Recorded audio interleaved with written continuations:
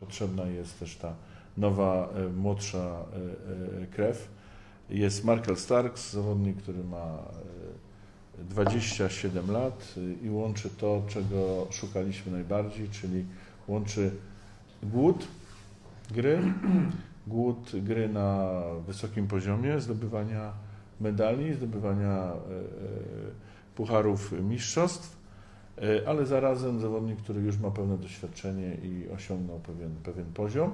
Natomiast ta jego kariera do dzisiaj nie wygląda może tak, jakby, jakby e, e, każdy sobie zamarzył. Tak? Czyli jest to zawodnik, który spełnia te oczekiwania, o których opowiedzieliśmy wcześniej, który będzie, mam nadzieję, ze Stelmetem e, chciał wygrać Mistrza Polski.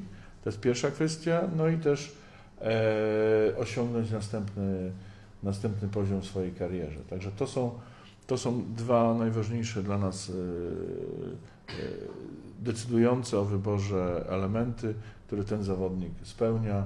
Może grać na pozycji 1, może grać na pozycji 2. E, ma 1,88 m wzrostu. Po dobrej uczelni Georgetown miał też epizod. Epizod grał w ligach greckiej, tureckiej. Miał małe epizody w lidze niemieckiej. E, zawodnik, który, tak jak już powiedział, trochę doświadczenia ma, ale chce coś e, wygrać w tym, w tym roku, chce wygrać z nami Mistrza Polski.